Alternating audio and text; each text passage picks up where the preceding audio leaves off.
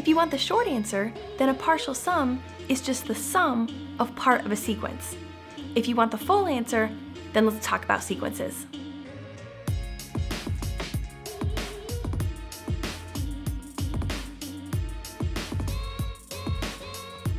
So what's a sequence? Well, a sequence is just a set of terms that are put in order.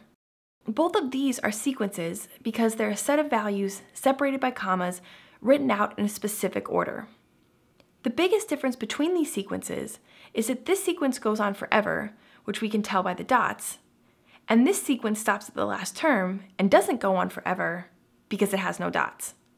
So this sequence is called an infinite sequence because it goes on infinitely, and this sequence is called a finite sequence because it stops at a particular term, so it finishes and it's finite.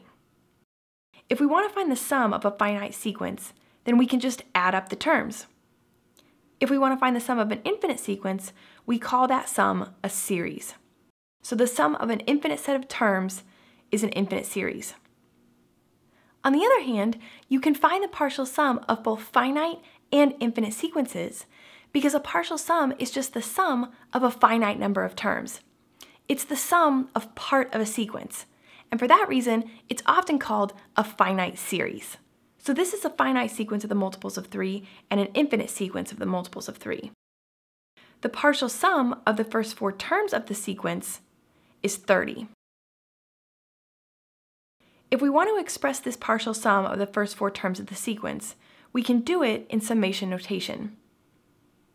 n equals 1 tells us to start by plugging in n equals 1.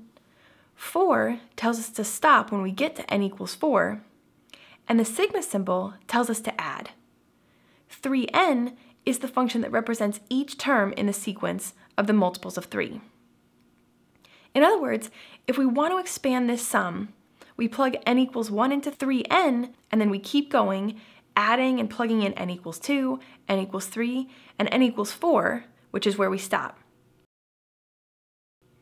Then we simplify this, and you can see that we get back to the partial sum of the first four terms that we started with.